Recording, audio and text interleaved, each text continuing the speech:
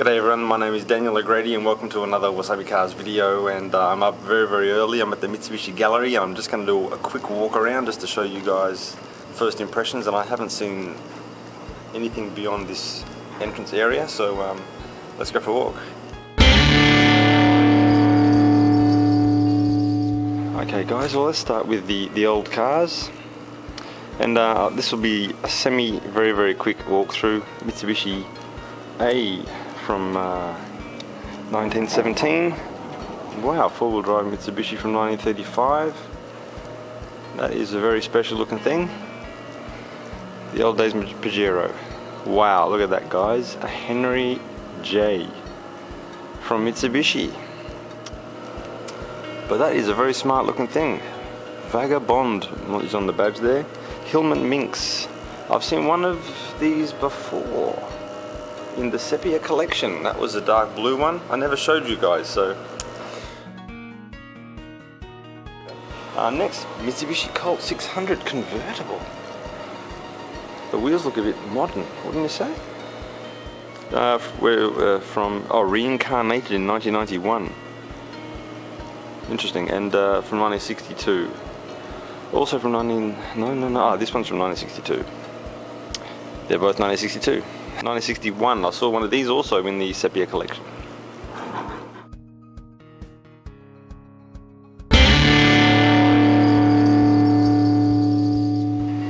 Mitsubishi Leo 1959. Now these, I think I saw one or two of these before also. 1949. 1955, gee. Okay, yeah, they look a bit different. There's a sneak preview, guys. Next, uh, 1964 mini car. Mini car.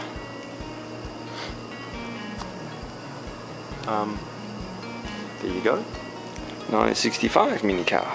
This one is a different body shape, light van. Light van, okay, there's got little four-seater, there's a back seat there. Minicab. Wow, is that a a K truck. Certainly is 359 cc's. Never seen one of those before. Interesting. Next minicar. Now these, they sort of start to look sort of cool around this this era. I think 1970. Grand Super Sports. A genuine sports sedan. Look at that, eh? That is a smart looking car. But if you want a performance car, well then you've got to go orange. What do you reckon, guys? Whoa, sweet blacked out air intake, 1973 Minica Skipper. I would love to have a close look at that, but I suspect I cannot touch it. Next is a Debonair. Um, sort of looks Eastern European just a guess. I think the meant the uh, designer was actually from Germany or somewhere. I could be wrong. Now we get into the mid 60s Colts. I saw one of these before too, way back in uh, Kumamoto. 1000cc or thereabouts. Colt 1968. Now this has got a sort of unique, uniquely styled rear I kind of like it. I mean, if I was rocking up to a a, uh, nostalgic car show, I wouldn't really choose this one, but um, I appreciate the, the unique style. Okay, guys, what's next? I should have bloody looked at the bloody sign. Colt 1200 Custom from 1968. Custom. Hmm. Um, different headlights? I'm sure. Okay guys, now let's get to the, the good stuff. The stuff that I'm really, really pumped to see. And I was a bit shocked because uh, I didn't see it there and the lights were off. So, But anyway, here, here they are. 1969 Colt Galant A2GS. Now it's got those louver, louvered headlights. I'm digging that. I'm digging that a lot.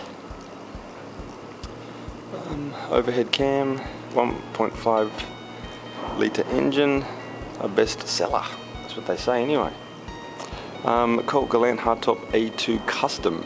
What's different? 1970, 1969, so there's a year difference. And of course the, the body style is different.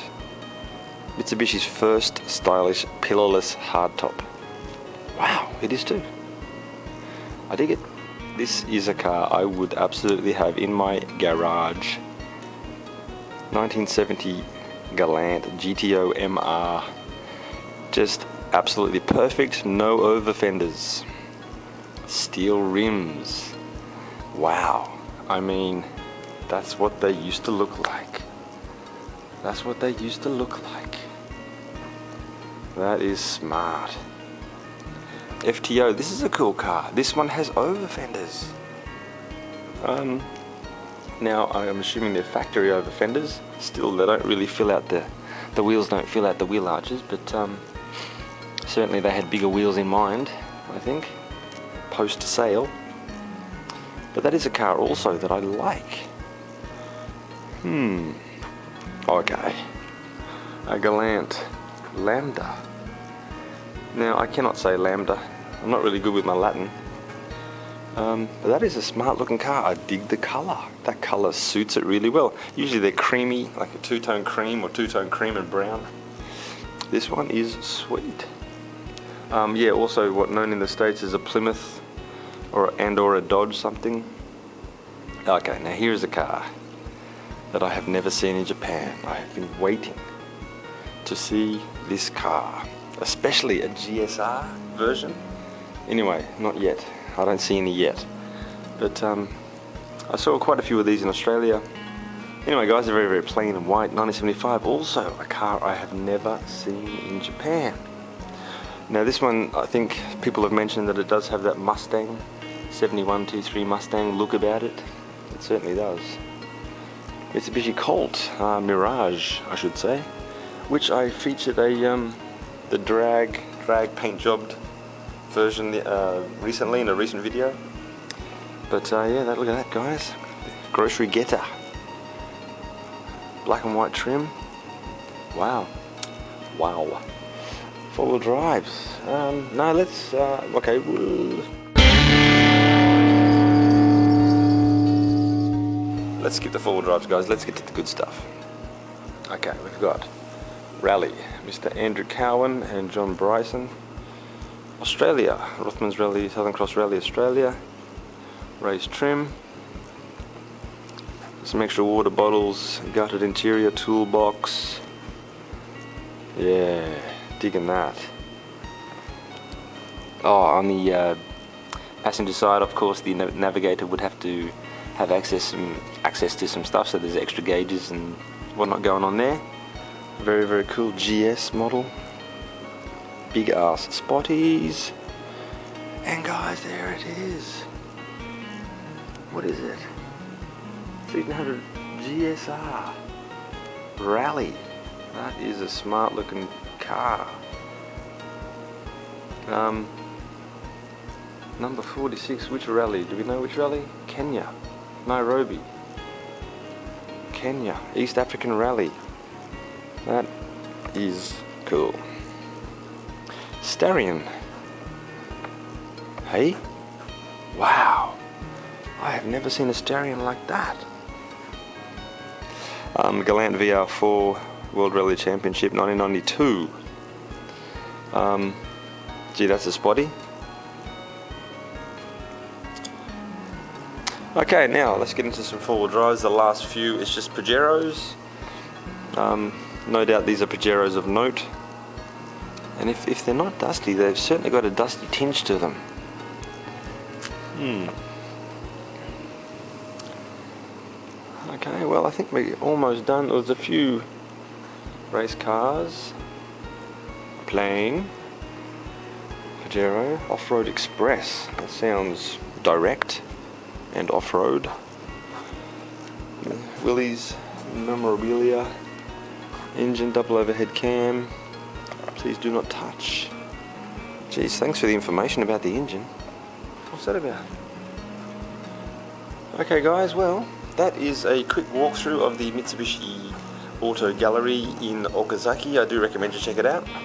Now I'll be walking around for the next probably about an hour taking photos and doing video uh, videos on my good camera. So uh, thanks guys. Hope you're all well. See you.